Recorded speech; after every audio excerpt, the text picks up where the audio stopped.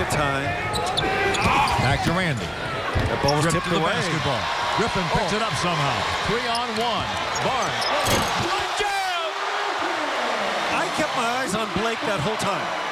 And what he did to pick that ball up while running and go through his legs, kick it to Barnes, and then somehow time that leap. That was incredible. Yeah, he has big hands, but not huge hands. But I tell you, he used those hands magnificently there. He gave it up and raised his hand, and Barnes took it right back.